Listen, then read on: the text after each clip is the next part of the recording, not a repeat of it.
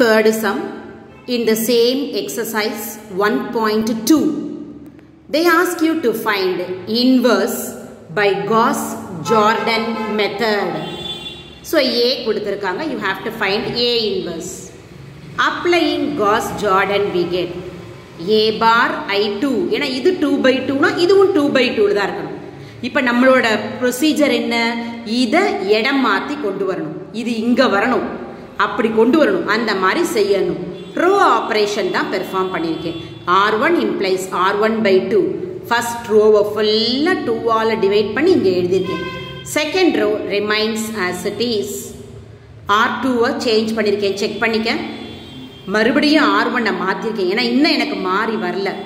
கடைசியாக ஆர் டூவை டூவால் மல்டிப்ளை பண்ணியிருப்பேன். ஏன்னா ஒன் பை டூன்னு இருக்கு இல்லையா?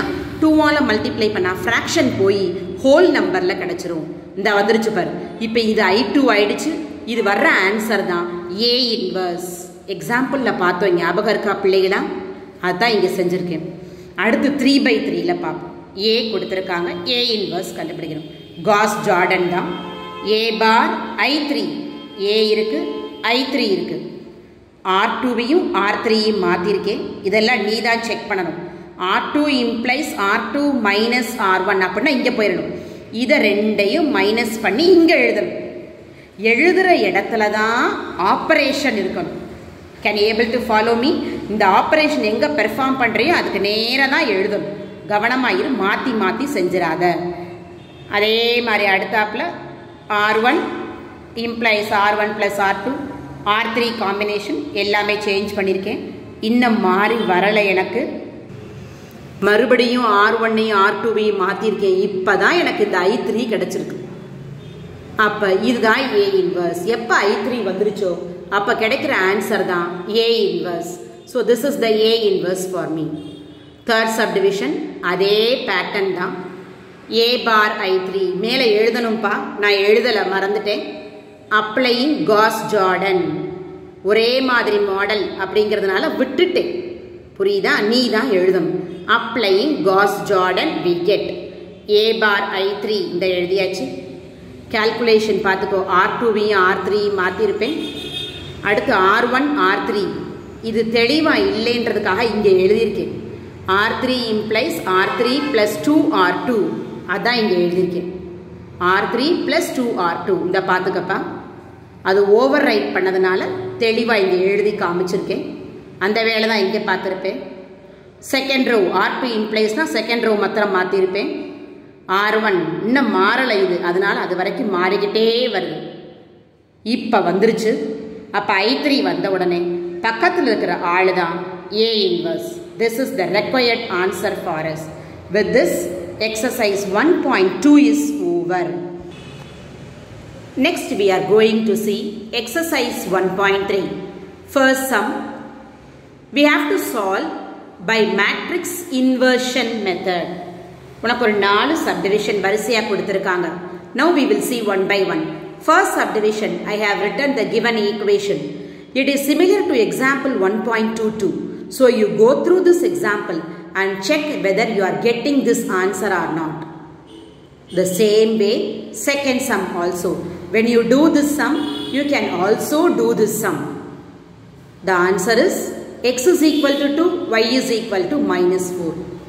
Third subdivision, the matrix form of the equation I have written a என்ன x என்ன b என்ன. B யாரு? Remind பண்டுறேன், equal டுக்கு பக்கத்தில் இருக்கிற ஆள் b. மாடி a வேணும்.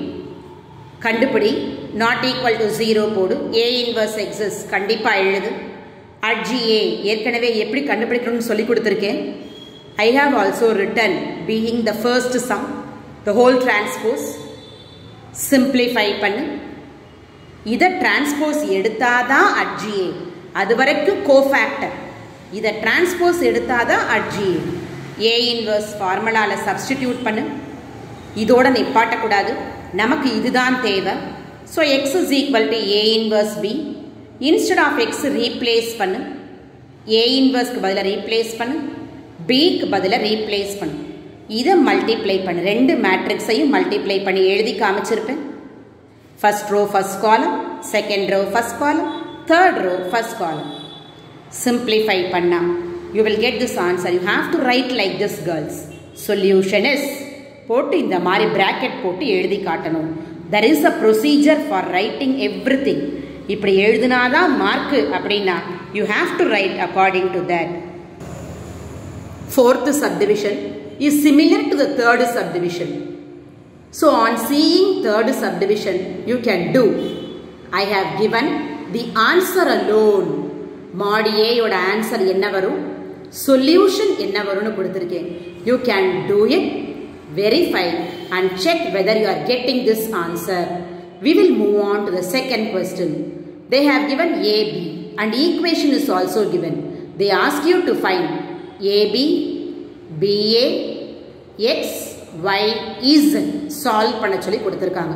This is similar to example 1.24 the last example which I said most important. அந்த எக்ஸாம்பிள் டைப்பில் தான் இப்போ பார்க்க போகிறோம் ஏபி ஏ எழுது பி எழுது நான் எழுதலை. மல்டிப்ளை பண்ணி காட்டு. இந்த ஆன்சர் வருதான்னு பாரு.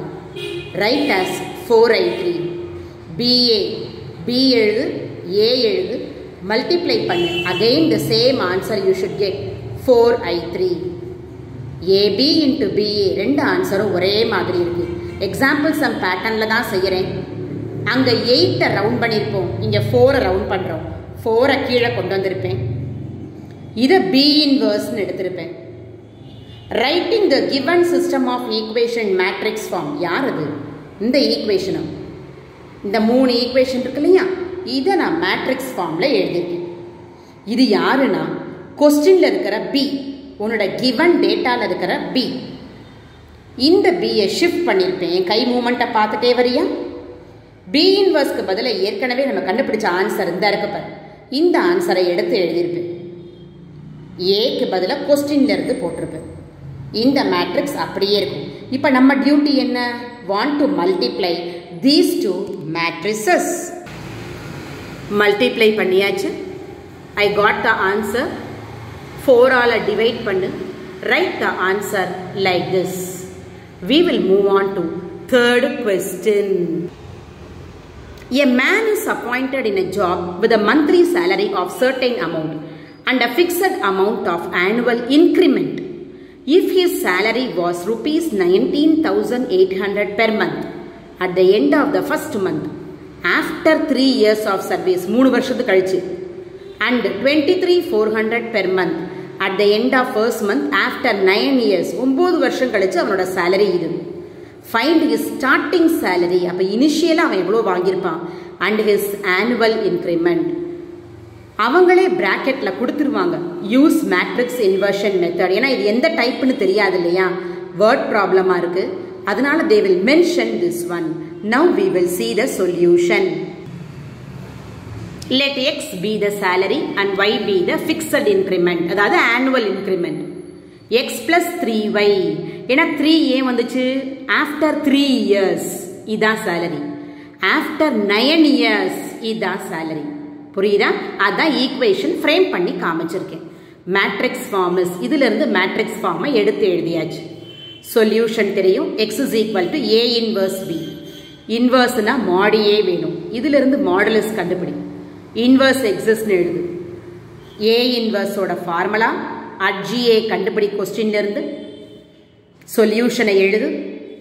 எக்ஸுக்கு பதிலாக ஏ இன்வர்ஸ்க்கு பதிலாக பிக்கு பதிலாக கொஸ்டின்லேருந்து எடுத்து எழுது. இதில் ஹண்ட்ரடை வெளியில் எடுக்கலாம். அப்போ நம்பர் சின்னதாக மாறிடும். அடுத்தாப்பில் சிக்ஸ் டைம்ஸ் சிக்ஸால் அதனால சிக்ஸ் ஹண்ட்ரட்னு ஆயிடுச்சு. சிக்ஸ் டேபிளால் டிவைட் ஆகும். அதனால இதை எழுதியிருக்கேன். இதை ரெண்டையும் கட் பண்ணியிருப்பேன். மறுபடியும் இந்த ரெண்டும் த்ரீ டேபிளால் டிவைட் ஆகும். அதனால த்ரீயை வெளியில் எடுத்திருப்பேன். இதெல்லாம் சிம்பிளிஃபை பண்ணாதான் செய்ய ஈஸியாக இருக்கும். இப்போ இந்த ரெண்டு மேட்ரிக்ஸையும் மல்டிப்ளை பண்ணு. சிம்பிளிஃபை பண்ணு. த்ரீ ஹண்ட்ரடை உள்ளே கொண்டு போயிரு. ஏன்னா இனிமே செய்ய முடியாது.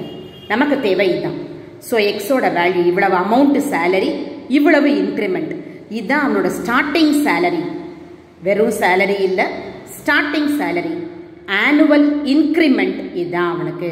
Have you understood girls